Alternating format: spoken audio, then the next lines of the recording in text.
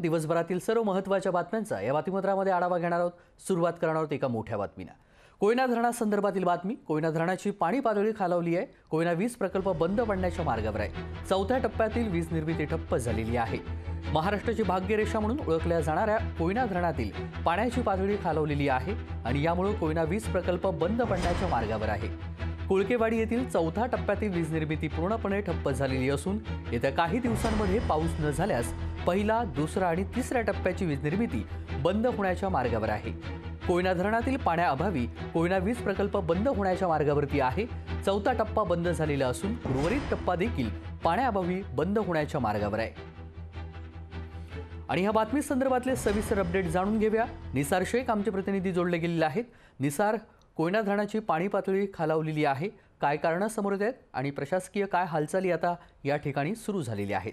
सविस्तर तपशील. तेजस आपण पाहिलं तर आज मै- जून महिन्याचा अर्धा आठव- आठवडा सुरू झालेला आहे. जवळजवळ आपण पाहिलं तर अर्धा जून या संपत आला अजून अजूनही पाऊस त्या ठिकाणी पडत असल्यामुळे या ठिकाणी कोयना धरणाच्या पाण्याची पातळी पूर्णपणे खालवली असल्यामुळे या ठिकाणी सात तारखेपासून कोलकडी चौथा टप्पा जो प्र- चौ- चौथा टप्पा आहे तो पूर्णपणे बंद करण्यात आलाय.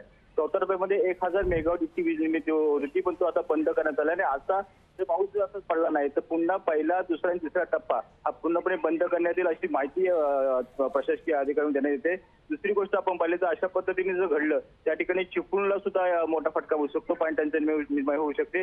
दुसरी गोष्ट आपण देश पाहिलं तर ह्या ठिकाणी त्याच्यावर कोयन्याच्या ज्यावरती अवलंबून असलेले गाणे खडकोले असो एमआयडीएस असो आरजीपीएल असो ह्या सगळ्या यांच्यावरती सुद्धा मोठं मोठं संकट येऊ शकतो. म्हणजे पाणी संकट यांची मोठी समस्या ठिकाणी निर्माण झाली त्याच्यात दुसरी गोष्ट आपण देश पाहिलं तर या ठिकाणी कोयनेचे जे पाणी आहे होते अनेक गावं सुद्धा अवलंबून आहेत. म्हणजे आपण चिपळूणची वाशीच नाही तिथे कोयनेची अवजावरती अवलंबून आहे.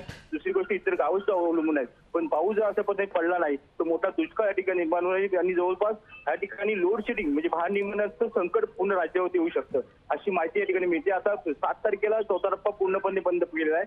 पहिला दुसरा तिसरा टप्पा आहे. तो येत्या काही दिवसात बंद होईल कारण आता आपण जर पाहिलं तर कोयना टप्प्यामध्ये कोयना धरणामध्ये साडे अकरा टीएमसी इतकं पाणी सर शिल्लक आणि आपण जर पाहिलं तर जलसिंचनासाठी एक हजार पन्नास क्युसी इतकं पाणी सोडलं जातं.